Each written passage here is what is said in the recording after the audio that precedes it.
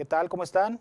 Soy Valente Arizabalo, su abogado de confianza, con una nueva pregunta de nuestros amables televidentes. Nos pregunta la señora Marta Cortés, voy a rentar una casa y estoy pidiendo que la persona interesada, el inquilino, tenga un fiador, pero ha sido difícil encontrar a alguien que lo tenga. ¿Qué riesgos corro si rento mi propiedad sin un fiador?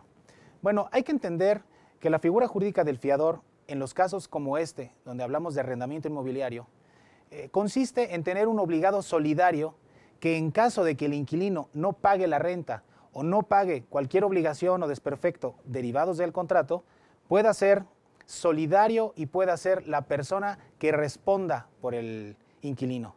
En este caso, un contrato de arrendamiento donde no se celebra, donde no se establece una garantía, pues es un contrato que en un momento dado, frente a un incumplimiento, va a poner en riesgo o va a poner en cierta fragilidad al arrendador dueño del inmueble.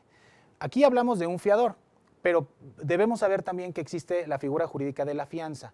Mediante una póliza de fianza contratada con una compañía afianzadora, se puede establecer esa garantía.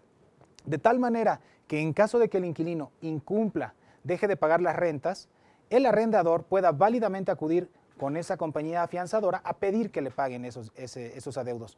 Por otro lado, en cuanto al fiador, que finalmente es también una garantía que, se maneja de una forma diferente, lo que nosotros necesitamos saber es que ese fiador realmente tenga un patrimonio con que garantizar, es decir, tenga un bien, mueble o inmueble, que pueda poner para que responda de cualquier adeudo o de cualquier desperfecto que se pudiera eh, relacionar o que pudiera sufrir el inmueble arrendado.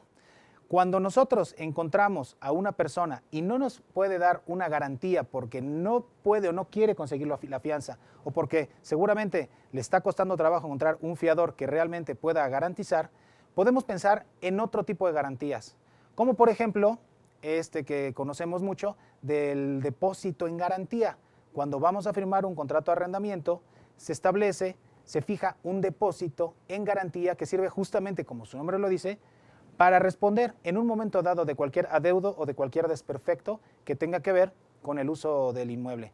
Mucha gente eh, confunde el depósito en garantía y lo, toman como pago de rentas adelantadas. La naturaleza jurídica de ese depósito no es eh, por concepto de rentas, es por concepto de garantía, que en su momento tendría que regresarse, tendría que devolverse al inquilino que nos está proporcionando, ¿no?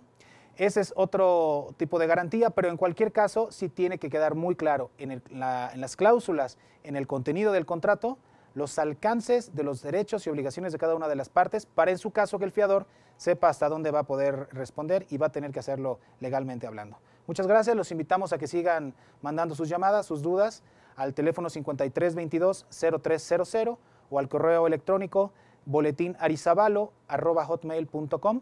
Estamos aquí Valente Arizabalo, su abogado de confianza.